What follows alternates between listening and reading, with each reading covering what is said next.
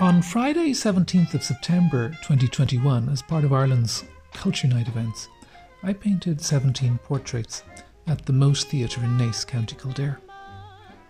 Culture Night is an evening of events across Ireland, connecting people to cultural activities locally and nationally. Some of these, uh, like mine, extend over the whole day. My idea was to paint as many portraits as possible that day and essentially have an exhibition assembled by the end of it. After which, the sitters received their portraits for free. The whole event was open to the public, and I also streamed it live on Instagram and Facebook. Each portrait took roughly half an hour. The interesting thing for me was that I'd never even tried to paint portraits in half an hour. I was surprised how well it worked. The moral of the story for me is you never know what you're capable of until you try. Hard though it was, I really enjoyed the challenge.